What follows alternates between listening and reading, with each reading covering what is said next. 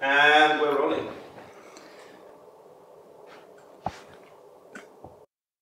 Yeah? Right? Yes. Deal? Boing. Welcome to the Acquia podcast, Drupal technology, community, and business. Welcome to the Acquia Podcast, Drupal Technology, Community, and Business.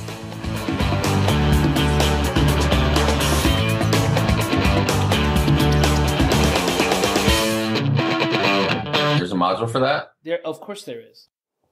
We are at, if you can read it, Drupal Camp London 2016. I'm with two of the organizers, Waliur Rahman and Ben Wilding. Just so that we know who you are and what you're about, why don't you tell me how long you've been doing Drupal, how you discovered Drupal, and what you do with Drupal nowadays? Okay. Um, so after university, um, I did computer science at uni. Um, after I graduated, I wanted to do my own business, so I started doing some web development, um, did a few sites, um, and I stumbled upon Drupal. And then I wanted to know more about Drupal, so I actually volunteered for Drupal Camp 2013. So I was actually giving out um, some food in the CXO day, um, and Jamie from um, the H, she was the director of HR at the time at Acquia. I was giving some food out. Um, she said, I said, um, "Would you like some food?" She said, "Would you like a job?" And then I had two interviews on the spot. And then the next day, I had another interview um, with the um, director of support at the time. Um, and that's how it started. And I wasn't looking for a job. I just wanted to know more about um, Drupal Camp. And now you're in global support at Acquia. Yes, and now I work at um, Acquia as a support engineer. The dream can come true, kids. Discovered waiting tables. Now Drupal professional. How cool is that? Yeah. Wow. So at community events, like all sort, literally anything can happen. I guess. Yeah. That's a great story. Um, ben, how long have you been doing Drupal? What's your first Drupal memory? Uh, my first Drupal memory is uh, 4.7 in 2006. Uh, working in, with an old friend of mine, Neil Cameron, we were setting up a uh, language exchange social network. So our backgrounds were both in uh, languages at university, and uh, language exchanges were the best way to practice. And it was the hype of MySpace, if anyone remembers that, um, and Facebook blooming, etc. So we kind of paired the ideas up, and you would search on someone's native language, and they would search on yours, and you were learning vice versa, uh, and you could uh, learn from each other. So um, I'm not particularly technical, so my experience was 4.7 as a kind of back end administrative editorial type experience, which was um, good at times and not so good at others, but we've come a long way. Right now, now, in the irony of, of, of life, how many times have you had potential clients come to you and say, all I want, right, is exactly Flickr and Facebook, and then with a little bit of YouTube and Facebook just smashed together because I have this killer idea. Uh, a lot, yes. And it's sort of you just said that Yeah. like that's what you were doing, which is nice. But this idea has actually turned into a thriving Drupal business in London. Yep. So you run I am managing director of Cameron and Wilding, and we're based in London and been going for just over six years now. A team of 17, and specialise in medium, large scale, enterprise level uh, Drupal builds. Congratulations. So, thank you very much. paying the rent for several people. Yep. How big is Cameron Wilding now? About 17 people. Wow, that's a great size. Yeah, and we're a- working with some good brands, uh, Telegraph, The Economist, Imperial War Museum. So um, yeah, done a, a good job of uh, punching above our weight, I think. Nice. So now everybody put on your Drupal camp organizer hats Mm-hmm. and take off your company hats. You've been organizing Drupal Camp London. I guess there have been. Well, we're in the middle of the fourth. Yep. You've been on the team for all four. Yep. You've been on the team for at least Um, so in 2013, I started volunteering. Right. And I've always done um, volunteers from for the last three years, I Yeah. think. Yeah, for the Yeah. last three years. And um, for the last two years, I've um, been asked to actually help organize the event as well. So, fantastic. yeah. Yeah. So this is in in for me um, perhaps the largest, most important somehow. I, I did. If you're listening to the audio, I did giant air quotes. Uh, it's a it's a big important Drupal camp in the European scale. It might be the biggest one um, in terms of large events around the world. If we exclude the amazing and gigantic Indian community, um, in the rest of the world, I think it's probably after Bad Camp and Nice Camp and DrupalCon. It's one of the biggest around. Yeah. And I really enjoy Drupal Camp London because I get to meet people literally from all over the world. It's important enough here that people um, come from everywhere to come here, not just Europe, not just the UK, but from everywhere. How did you how did how do you manage to? What's the draw? Why why does that work so well? It's a really good question. I think scale certainly helps because you can come to one key event and know that you're going to hook up with lots of old friends, colleagues, opportunities, all in one location because we've got, you know, between five, 600 people here over the course of the weekend. Uh, so that really helps. Um, I think London's obviously, uh, and the UK is a thriving central point and it's always had a really good uh, Drupal market. Um, so there's always been a lot of agencies here already and a lot of users of Drupal, um, global and local. Um, and I don't know, I think uh, the scale and how we've worked quite hard to make sure it's very inclusive. Um, we promote it as much as we can. Um, and off the back of that, you know, the success of the first year, which was critical for us, we made a point of making sure it was only 350 people year one because we wanted to know we could sell it out and we wanted to know we could handle the numbers.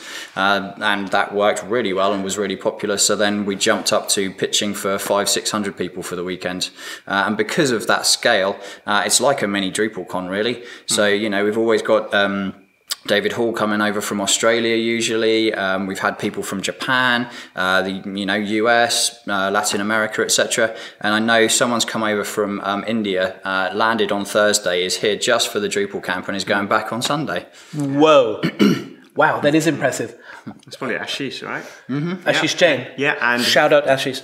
yeah, and not only that, he's volunteering for the event as well, Yep. He's keen. and he's a sponsor. Oh, Yeah. Wow. Okay. Most important Drupal camper this weekend, potentially. Um, Yep. I like that you have a great business day, great technical community days. You have sprints. You have good food. I, I really think um, it's it's plus the people. You know, of course, make it Yeah, the What it is. community's a bit of it, you know. right. But how do you, when you're planning, how do you how do you know what the right balance is? How do you try and satisfy all the diverse needs of different um, attendees? Good question. Um, I think it's constantly a work in progress. Uh, we were very open from day one to try and get feedback. Um, it's a bit more of a a well practiced machine these days, but in that first year, 2013, Yeah. uh, we had open meetings running for about six months where anyone could come along. Um, we were discussing what topics, how we should cover them, that type of engagement, and I think that really helped. Um, so we made a good point in that first year of getting the engagement from the whole of the community because it was for the community, um, and then that kind of narrowed down to the core core team that actually delivered on getting the event done. But that sort of buy-in really helped us shape it from day one because it was always by the community for the community. Um, I think also the volunteers and people that put the event on, there's a broad range. I'm more from the business side. You know, Wally is at a big company, Acquia, doing the support side of things. Um, you know, you've got business people, you've got freelancers, you've got, um, you know, people working at big companies, small companies. So that, that variety naturally helps us keep it spicy and, you know, have that variety because we know that um, you know, there's lots of different needs and wants out there. And um, each year, what what are the sort of improvements that you've made to the process or the or the or the contents along the way? I think it's been um, quite a nice, agile, iterative approach. So, Wait, we can get more buzzwords in than that, yeah, uh, we had some lean startup principles in right? the And first then we're years. disrupting Yeah. the concept of community events, right? Yeah. How did you know? Um, Lots Yeah. of emails.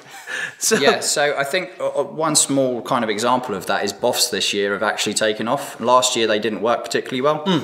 I think we were booking BOFs online last year, but for whatever reason Yeah. it wasn't quite working. This year there's a bit of paper by reception and people are jotting it down under the number and they're just uh, hashtag uh, DCL it. BOF. Yeah. And it seems to be working. So nice. So you things like combine, you combine, you went back to like old, tried and trusted technology Yeah. on the one hand, but then tweeting those out with a specific hashtag. That sounds like a great And the great thing about that is once it's tweeted, it actually appears on the site.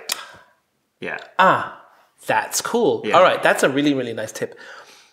Speaking of, of speaking of improvements over time, you've been involved for a few years, and I think you've been observing some ways that you suspect that all of us could do community events better and get more out of them. Can you talk about your what you um, sort of this concept that you're pulling together? Um, yeah, so we've been meeting um, uh, on a regular basis, and um, we're always constantly trying to improve the camp, the processes. We always want to bring in more sponsors, more attendees, um, but um, when you want to do that, you also have to be more efficient at things that you do. Um, so I jot down some ideas on how we can how we can go about doing that. I ripped off Amazon's flywheel um, uh, diagram where to grow the camp, we should concentrate on sales and marketing, um, create videos, um, um, um market it at different um, Drupal meetups, etc. so that way uh, we can show the value to the attendees and the sponsors. Um, but that also creates lots of other problems. So if we get more attendees and more sp- um, sponsors, um, we have to be more efficient at the things that we do. Um, so to do that, we are creating a um, distribution called Cream, and we're going to put all the features and everything that we need to do in that distribution. So, for example, um, I run the volunteers. And a lot of things that I'm doing, I'm doing it on a spreadsheet and I'm emailing out people. When a volunteer cancels, I have to go and update the spreadsheet. And um, then um, sometimes we get replacements, sometimes we don't, mm. etc. That's all manual work. And really, there is a logic to it. And if we can capture all the business logic and integrate that into the site, we don't need to lift a finger. And that way, every year we can reuse that um, to increase our productivity. So once we do that, what we can then do is focus on the sales and marketing side of things, and then it's like a big cycle.